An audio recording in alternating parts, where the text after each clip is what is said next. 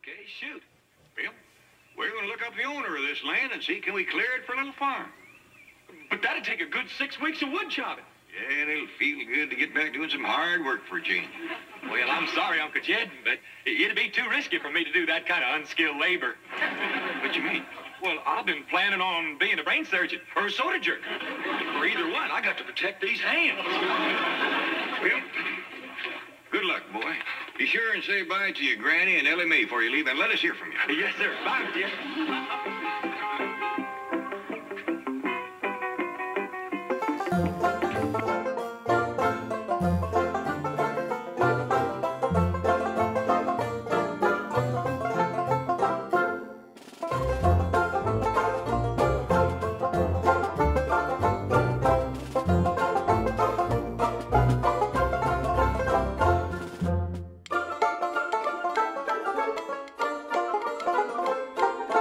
Thank you.